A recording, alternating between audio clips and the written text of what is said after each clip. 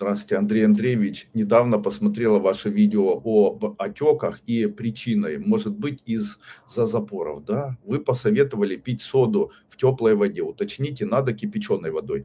Как пить соду? Смотрите, в случае, если у вас запоры, в случае, если у вас аллергия, это между собой связано, как я и говорил в одном из своих семинаров. Избавиться от запоров можно, если каждое утро на протяжении одного-двух месяцев принимать соду.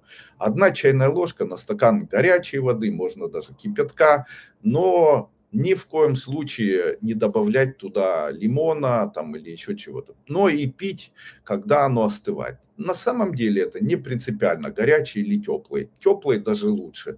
То есть просто одна чайная ложка соды разводится в стакане теплой воды, выпивается. Желательно это делать в первой половине дня, но в случае, если у вас очень все плохо, то можно использовать и во второй. Кстати, сейчас вспомнил, интересный такой способ, э, народный. Когда-то одна женщина, по-моему, она была из, э, из Карелии, на морском курсе рассказала о том, как можно э, избавиться от запоров. Это метод переливания воды из стакана в стакан. То есть она сказала, что берете сырую воду, наливаете в стакан воды, и после этого утром переливаете 39 раз из стакана в стакан эту воду, ничего при этом говорить не нужно, а на 40 когда перелили эту воду, необходимо выпить.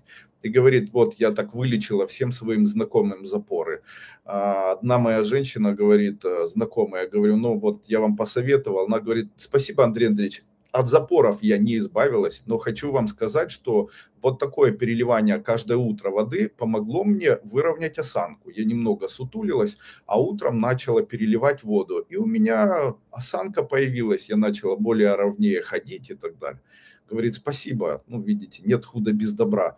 Так, э, желание избавиться от запоров не помогло избавить человека от запора, но выровняло его осанку. Тоже хороший, думаю, хороший результат.